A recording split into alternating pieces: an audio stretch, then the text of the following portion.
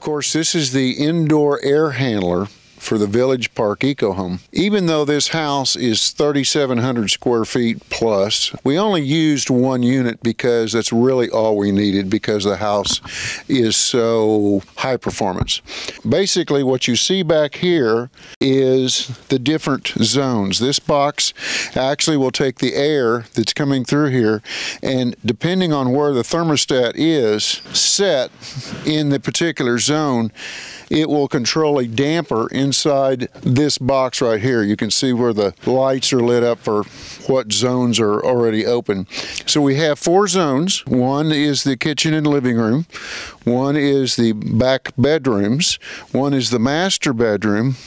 And one is the home office if you turn on one of the thermostats, it will open up a damper and allow the air to flow through if you're asking for it to get cooler. This really will save quite a bit of energy just using this one unit. This is a variable speed unit.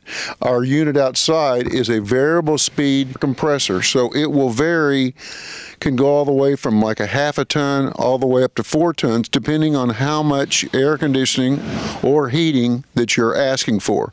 And yes, this is a heat heat pump. And one of the returns that comes back to the back right here is coming off the porch. It actually brings fresh air into the house about every three or four hours and runs for about 10 minutes on slow speed, brings the fresh air in, opens a damper, um, and then closes after about 10 minutes. So, again, we want to make sure that the occupants stay good and healthy no matter what their furnishings or carpets or anything like that is.